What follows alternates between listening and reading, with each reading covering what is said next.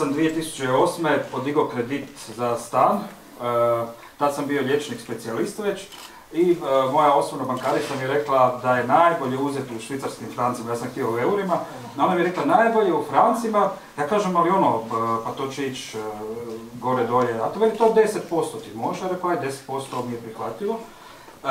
te godine sam se upisao SDP, i ovaj, za par godina, za godinu dana meni je rata kredita, dakle anuitet sa 3.300 narasao na 5. E, I plaća mi bila negdje oko 8. Ja odem u banku i pitam ja bankara, jer sam promijenio naravno osobu bankaricu koja mi savjetovala e, švicarce, e, i pitam ja, e, dajte mi meni objasniti, je li moguće da vi sad meni cijelu, da to tako naraste, da moja cijela plaća ode u to. Pa veli on je. A jamac mi je bila prijateljica, kolegica, dakle ja nisam mogao tad ni vratiti stan i reći uh, ok, neću plaćati stan, vi si ga uzmite jer bi njoj uzeli plaću. Dakle, ja sam jedno, uh, cijelo vrijeme sam se razmišljao ako ja, kao liječnik specijalista imam problema s tim, kako je ostalima ljudima koji, jer moja plaća je veća od prosjeka Hrvatske. Ne?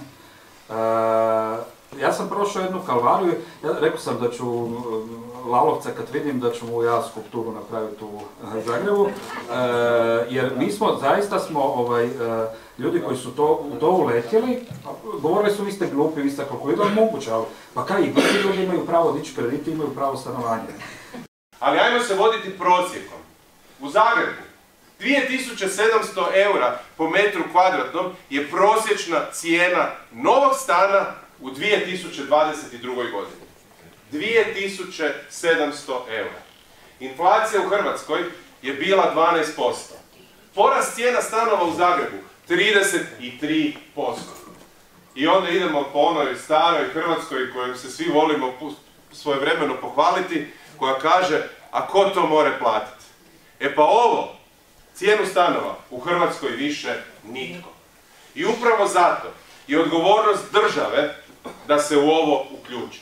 Ali ne da se uključi sa jednim projektom kao što su ovi APN-ovi krediti koji su samo pomogli da se cijene stanova napumpaju, nego sa sustavnom politikom koja će osigurati da nešto radimo dugoročno, ne od danas do sutra.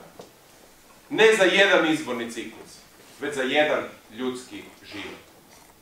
U Beču je politika stanogradnje krenula odmah nakon Prvog svjetskog rata.